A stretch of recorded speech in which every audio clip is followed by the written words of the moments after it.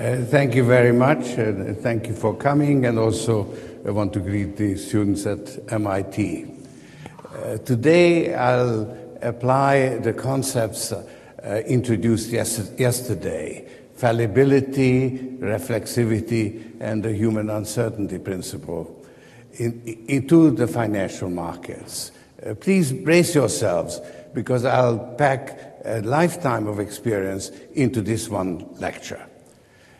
The financial markets provide an excellent laboratory for testing the ideas that I put forward in an abstract form yesterday. The course of events is easier to observe than in most other places. Many of the facts take a quantitative form, and the data are well recorded and well preserved. The opportunity for testing occurs because my interpretation of financial markets directly contradicts the efficient market hypothesis, which has been the prevailing theory uh, about financial markets. That theory claims that markets tend towards equilibrium. Deviations occur in a random fashion and can be attributed to extraneous shocks. If that theory is valid, mine is false and vice versa. Let me state the two cardinal principles of my conceptual framework as it applies to the financial markets. First, market prices always distort the underlying fundamentals. The degree of distortions may vary from the negligible to the significant. This is in direct contradiction to the efficient market hypothesis, which maintains that market prices accurately reflect all the available information. Second, instead of playing a purely passive role in reflecting an underlying reality, financial markets also have an active role. They can affect the so called fundamentals that they are supposed to reflect. There are various pathways by which the mispricing of financial assets can occur. The most widely traveled are those which involve the use of leverage, both debt and equity leveraging. The various feedback loops may give the impression that markets are often right, but the mechanism at work is very different from the one proposed by the prevailing paradigm. I claim that financial markets have ways of altering the fundamentals, and that may bring about a closer correspondence uh, between market prices and the underlying fundamentals.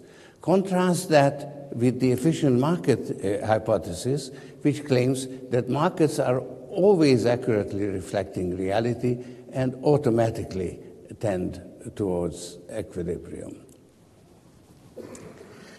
My two propositions focus attention on the reflexive feedback loops that characterize financial markets.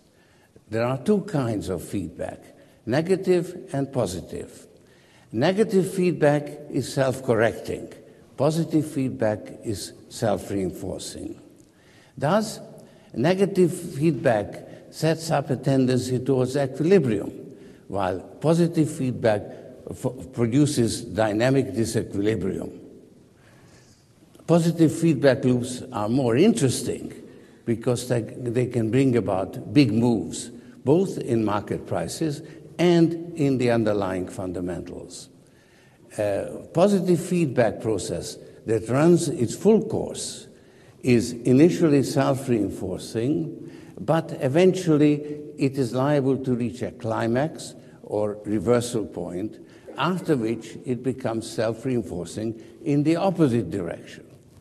But positive feedback processes don't necessarily run their full course. They may be aborted at any time by negative feedback.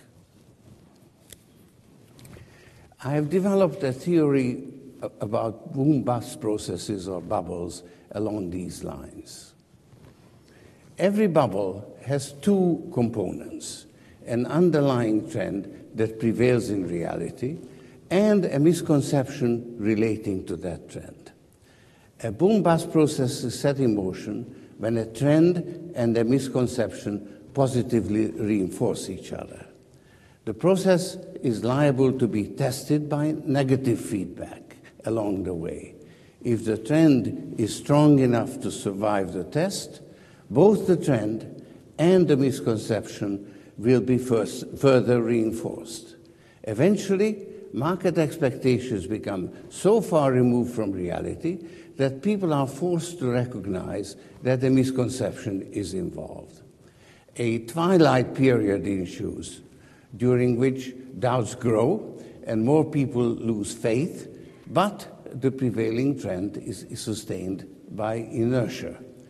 As Chuck Prince, former head of Citigroup, Group, said, we must continue dancing until the music stops. Eventually, a point is reached when the trend is reversed.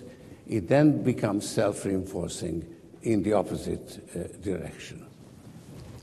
Let me go back to the example I used when I originally proposed my theory in 1987 the conglomerate boom of the late 1960s. The underlying trend is represented by earnings per share, the expectations relating to, to that uh, trend by stock prices. So here you have the, the earnings per share and the stock.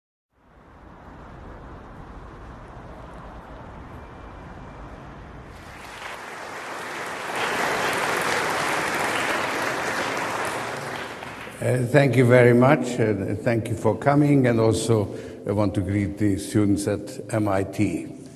Uh, today I'll apply the concepts uh, introduced yes- yesterday fallibility, reflexivity, and the human uncertainty principle in, into the financial markets. Uh, please brace yourselves because I'll pack a lifetime of experience into this one lecture. The financial markets provide an excellent laboratory for testing the ideas that I put forward in an abstract form yesterday. The course of events is easier to observe than in most other places. Many of the facts take a quantitative form, and the data are well recorded and well preserved. The opportunity for testing occurs because my interpretation of financial markets directly contradicts the efficient market hypothesis, which has been the prevailing theory uh, about financial markets.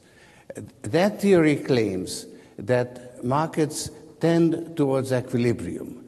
Deviations occur in a random fashion and can be attributed to extraneous shocks. If that theory is valid, mine is false, and vice versa.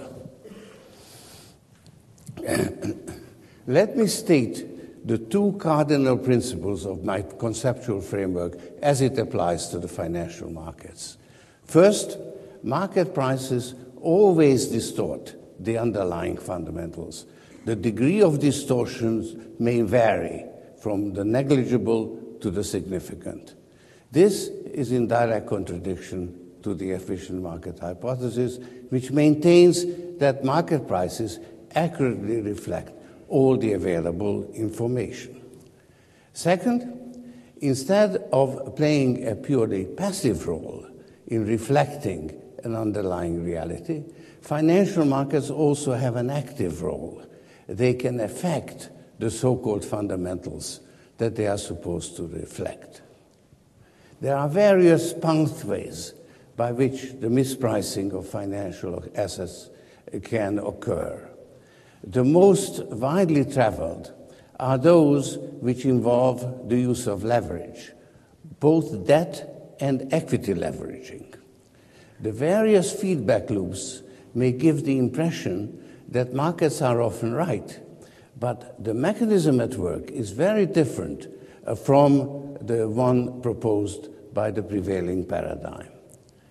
I claim that financial markets have ways of altering the fundamentals, and that may bring about a closer correspondence uh, between market prices and the underlying fundamentals. Contrast that with the efficient market uh, hypothesis, which claims that markets are always accurately reflecting reality and automatically tend towards equilibrium. My two propositions focus attention on the reflexive feedback loops that characterize financial markets. There are two kinds of feedback negative and positive. Negative feedback is self correcting, positive feedback is self reinforcing. Thus, negative feedback sets up a tendency towards equilibrium, while positive feedback produces dynamic disequilibrium. Positive feedback loops are more interesting because they, they can bring about big moves, both in market prices and in the underlying fundamentals. A positive feedback process that runs its full course is initially self reinforcing, but eventually it is liable to reach a climax or reversal point, after which it becomes self reinforcing in the opposite direction. But positive feedback processes don't necessarily run their full course. They may be aborted at any time by negative feedback. I have developed a theory about boom bust processes or bubbles along these lines. Every bubble has two components an underlying trend that prevails in reality and a misconception relating to that trend. A boom bust process is set in motion when a trend and a misconception positively reinforce each other. The process is liable to be tested by negative feedback along the way. If the trend is strong enough to survive the test, both the trend and the misconception will be first, further reinforced.